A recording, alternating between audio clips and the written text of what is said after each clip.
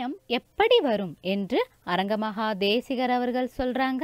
வாங்க என்ன சொல்றாங்கன்னு கேட்கலாம். புண்ணியமும் என் திருவடி பூஜையினார். ராமலிங்க சாமிகளே உங்க திருவடியை பூஜித்து ஆசிரியர் இன்னைக்கு அருள் செய்ய வேண்டும்.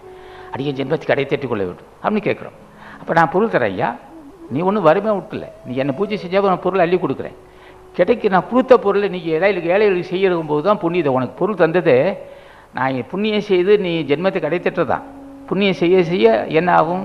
நான் என் உனக்கு நான் அருள் செய்ய ஆரம்பிச்சிருவேன். நீ புண்ணியத்தை நிறுத்திட்டு நான் அருள் செய்ய மாட்டேன். அருளும் புண்ணிய பலம் என்ன? உன்னை நீ உன்னை உணர முடியாது. நீ உணர உணர முடியாவிட்டால் உன் தேகத்தை பற்றி அறிய முடியாது. தேகத்தை பற்றி அறிய முடியாட்டால் உடம்பு உயிரை பற்றி உடம்பு உடம்பை பற்றி அறியாமட்டால் உயிரை அறிய முடியாது. உயிரை பற்றி அறியதே மூச்சு காட்டை அறியலாம். மூச்சு காட்டை அறிந்தவன் இடைகளை பெண்களை பற்றி அறிவான். இடகளை பெண்கள் அறியதவன் அந்த இடைகளையும் பெண்களையும் சேர்த்து சுழுமணியில் செலுத்துவான்.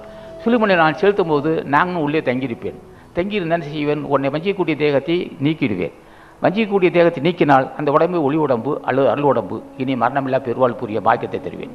ஆக ஒன்று துணை ஒன்று ஒன்றை பெற்று மற்றொன்றை பெறுவதுமா?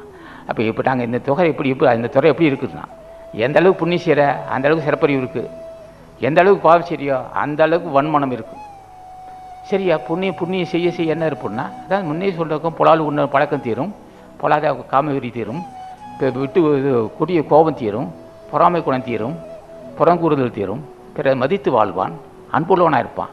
புண்ணியவானுடைய ஆற்றல் எப்படி இருக்குன்னா அவன் முகத்தை பாரியா அடே அருள் இருக்குது பேச்சில் அருள் இருக்குது குடும்பத்தில் நிம்மதி இருக்குது பிள்ளைகள்லாம் அமைதியாக இருக்கு. பிள்ளைகள்லாம் ரொம்ப சந்தோஷமாக இருக்கிறாங்க. அதான் புண்ணியத்தின் காரணம். பிள்ளைகளுக்கு நோய் அடிபட்டு விபத்துக்குள்ளாக்கி மனைவிக்கு நோய் கணவருக்கு நோய் தாய் தனக்கு அண்ணனுக்கு மண்டன் அண்ணனுக்கு தம்பிக்கு பிரச்சனை. எல்லாம் ஒற்றுமை இல்லை. மாமியார் மறுமை பிரச்சனை நாத்தனார் பிரச்சனை. குடும்பத்தில் அமைதி புகஞ்சு எப்போ பார்த்தாலும் இது குத்தளிப்பு இருக்குண்ணா. என்ன காரணம்?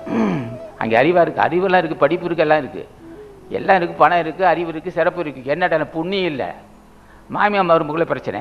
நாத்தனார் நாத்தனார் நமக்கு இப்போ நாத்தனார் பிரச்சனை. ம- உட குழந்தனார் பிரச்சனை. என்ன பிரச்சனை பிரச்சனை? விடாத பிரச்சனை என்ன கருமம் பாவம்னா குடும்பமே எப்போ பார்த்தாலும் அமைதியே இழந்து கிடக்கும். என்ன ஏன் இவ்வளோ வசி இருக்குது எல்லாம் எல்லாம் பட்டதாரியாக இருக்காங்க. பட்டதாரியாக இருந்துக்கூடாது படிப்பு இருக்குது எதுக்கு படிப்பு இல்லை?